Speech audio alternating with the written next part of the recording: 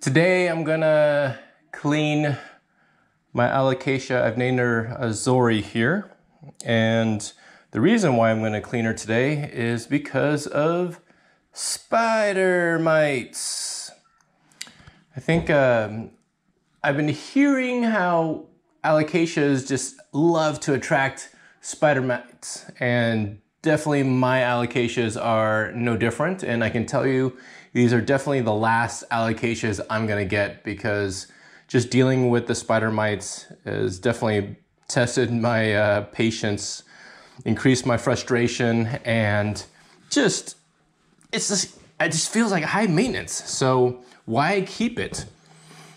So as you can see, uh, just probably right in front of me, uh, there is a kind of cut leaf here. Um, she has put out uh, two new shoots. And then each of these shoots, I've cleaned these about, I guess, once a month. And as I'm working here in my office, I kind of give it like a look every once in a while and definitely has a, another large buildup of spider mites. So it's time to get a cleaning. Okay, so I'm gonna show you just a home remedy that I put together really quickly. Obviously, you know, just like yourself, you look online to kind of see what is everyone else kind of like making. So here's my solution. It is a alcohol-based uh, solution, right? So I use 70% uh, alcohol, uh, water, and a little uh, dish soap. So first off is I will first put in the alcohol. And typically what I'll do is I'll do about 30%. I'll fill up my bottle about 30% with the alcohol. Just kind of, I just like eyeball it. You don't want too much because if you have too much, then I think it, it I think it does like harm the plants. I'm not sure. Okay, and I'll just kind of fill up the rest with water.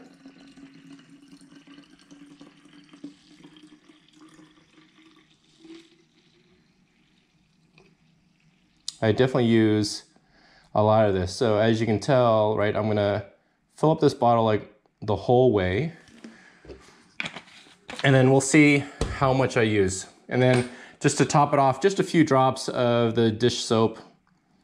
It allows it to, uh, I guess, you know, when you put water and alcohol together, they like to separate. So it's like a coagulant, kind of makes it uh, stick together here or mix together really well.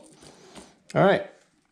I'm not going to shake this.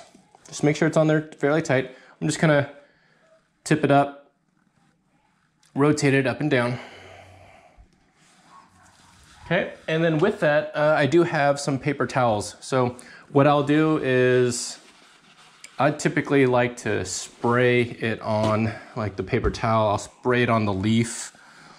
All right, so I'm gonna kind of show you how I do this. All right. Uh, I think first off, I'll start off with just like the baby leaf. I like to, here, so I'm gonna fold this up.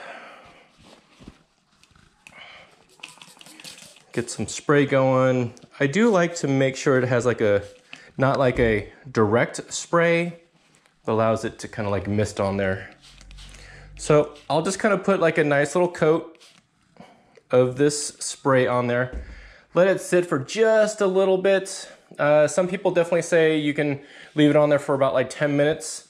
I've done this for another alocasia that I have and it left a whole bunch of burn marks on there. Uh, it could have been the spray when I was leaving out there, but I did it outside, so it could have also, the sun could have helped uh, damage the leaf a lot more and I'll probably show that to you. Actually, I'll just show it to you right now. So this is kind of what happened. I kind of sprayed it. This was like a newer leaf. I had it outside and then all these, I think it just kind of burned, burned the leaf. So that was definitely not good. So you definitely want to get the top of the leaf, but then you also want to get the bottom.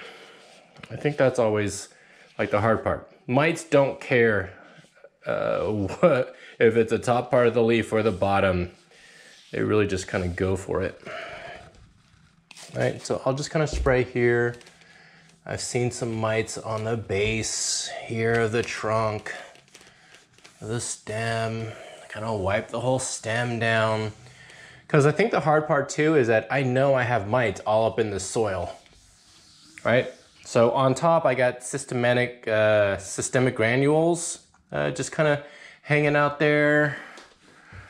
Is it really doing anything? I'm not sure. So this is just part of my overall maintenance, my pest maintenance. All right, so definitely give it a good soaking, a good wipe down. And I'll just kind of clean it up. All right. I am definitely not being as thorough as I probably should be. Probably, probably because I've just done this and I know I'm gonna have to come back and just do it again. And I'm sure you guys will say, well, why don't you just take the plant out, you know, just uh, replace the dirt, wash it out? Yes, I've done that already. I've done that. So it just tells me that I haven't fully gotten rid of them. So that's what the maintenance part of it. All right. Uh, this middle leaf right here, this is the newest leaf that kind of came out. Uh, you can tell, right, there's gonna be a new leaf that'll form um, just right out of here, right out of the stem. And this is a, a slightly older one. I would say that these leaves are about, uh, I would say about like a, about two months old. Maybe like two months for uh, this leaf right here, about two months. And then probably like a month old for this, this leaf. So as you can tell, right, the, the leaves are, you know, they're, they're fairly large, they're getting there. But this leaf, I don't know if you can tell. So I have some, um, I'll kind of split the footage a little bit because I want to show you what the mites look like, where they're at. There's a little webbings you can really tell. And you can definitely see the mites moving around. So I'll kind of, I'll show you uh, that as well. So here we go. Let's murder these mites because I really hate them. Yep. And your solution is definitely gonna drip on the floor. You can wipe it up later. I mean, it's alcohol. It'll it'll evaporate. It's not gonna, you know, shouldn't really hurt your floor. You can put a towel down below. That's fine. And then just get a wiping.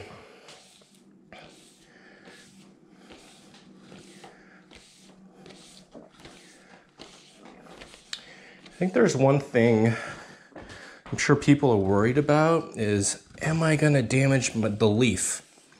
Right, because, you know, leaves, this is kind of how the plant grows, right? It soaks up the sun, it's, it transfers that, allows the plant to grow. And then if you see, right, it has like all kinds of soap on, like little suds on here right? So the other thing I've heard from others is like, oh, you're gonna clog up the pores of the leaves. I'm sure that might be the case.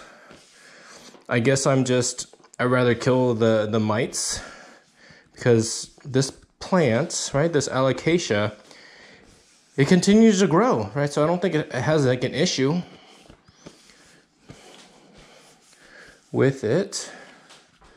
So you definitely want to get in there Get it really good.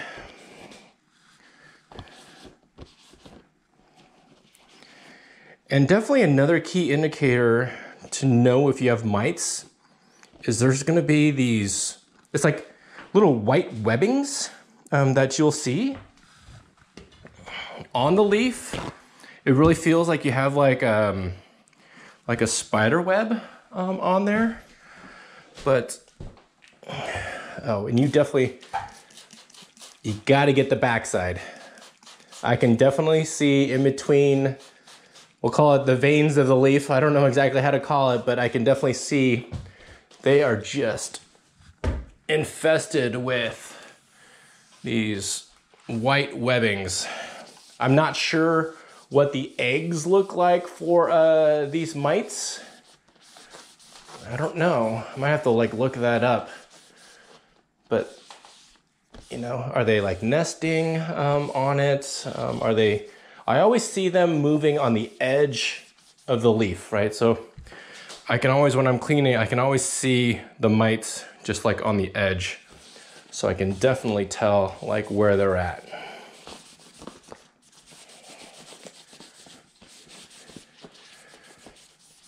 So ideally, you know, you're supposed to leave the, the alcohol in there to just, that's what, that's the primary, um,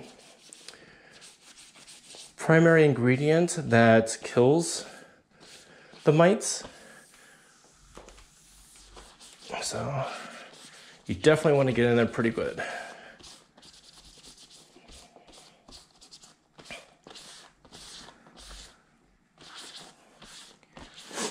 I know I'm not killing them 100%, but that's okay. So since I work at home every day, I will just give it a quick look over and see, are you guys coming back are you not? And, and typically what I'll do is I'm sure that this is definitely not advised, but I do it anyway because I don't care because I really hate the, the mites, is that I'll spray the, the top layer uh, of the soil with this solution. I'm really hoping that it's more of like, you know, the alcohol uh, in here that'll help kill it and maybe just evaporate or, you know, not soak down as much into the soil. But I definitely put a, a little kind of barrier, a little layer um, on there. Okay, so next off is I'm gonna clean up uh, this second leaf just right here and I'm just gonna go through it and let's just kind of speed it up, okay? And I'll see you on the other side once I'm all done cleaning.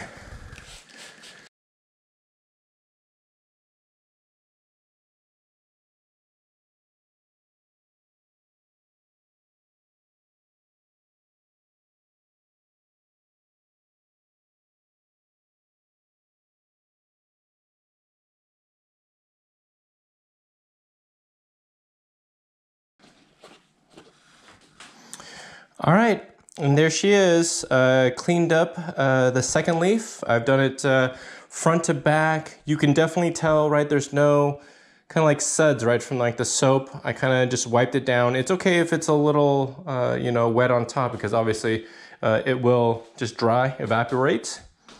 Definitely want to kind of take a once over here in the back just to make sure you got most of it. All right, so that really just concludes uh, me cleaning my alocasia of some spider mites. And what I'll do is I'll try to take a, like a before and after, and let's just kind of see how clean did I kill those spider mites. All right. So I believe that does it. Yep, just kind of take a look. And then the last thing I'll kind of leave you with is uh, when pests invade your plant collection, you definitely get a better appreciation for staring at leaves. I do stare at them fairly closely. I, you know, these spider mites, they're not going to jump out at you. They're not going to get you, but definitely I always wash my hands uh, before, actually at least at minimum after, you know, I kind of like look at the plants I do smash up these mites with like my fingers whenever I see them, so I try to give a little cleaning. All right, because they are pretty invasive and you will definitely notice, right, with the first set of leaves, right, they're kind of, right, they kind of start a little, get a little brown, get a little yellow. Um, that's definitely uh, from the spider mites um, injuring uh, the leaf. So until next time, uh, thanks for watching my video. Uh, please come back. I'm hoping to provide you with some more content of how I take care of my plants within my office. I got a few series going, a few series in my head, and I hope to uh, put out some more for you. All right, thank you for uh, watching, and until next time, take care, be kind, bye.